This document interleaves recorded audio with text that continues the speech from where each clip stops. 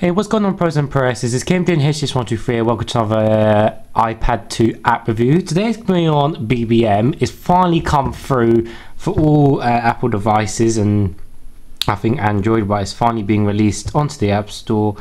And as a result, you can only use it on iOS 7. You cannot use it on previous iOSs. That's why I'm doing it on my iPad and not my iPhone. Um, but basically, there's the app. This little stupid BBM logo and it's free on the App Store. Surprisingly, I thought they would have ripped us off at 69p, but hey. Um, so basically, it's obviously the messenger like you get on the previous, um, you know, stupid BlackBerry phones. Um, I mean, it's quick and simple though, to be fair. But I mean, you know, it's just the same like all the other messaging apps. The same as Kik, the same as everyone uses WhatsApp. I'm just I'm just reviewing it because it's there, you know. Um, but like I say, everyone knows BlackBerry is dead these days. No one has Blackberries anymore and it's just uh, it's just as a review.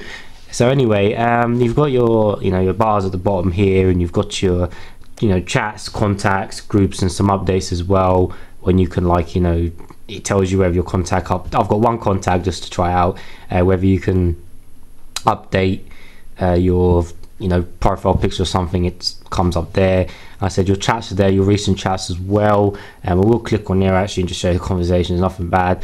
So you just got, I said, yes, yes, Carl, that's his name. And you're right, yeah, I'm good. How about you?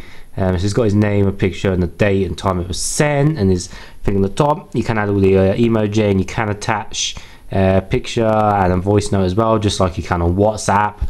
Um, and you can invite uh, more people and you have them like a group uh, conversation, like you can on WhatsApp.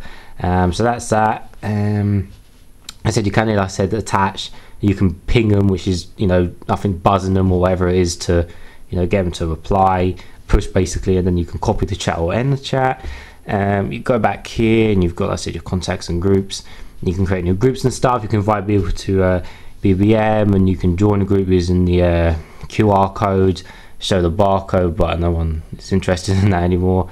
Um, and you've got some settings and some help, just like uh, BlackBerry ID and just some other stuff as well.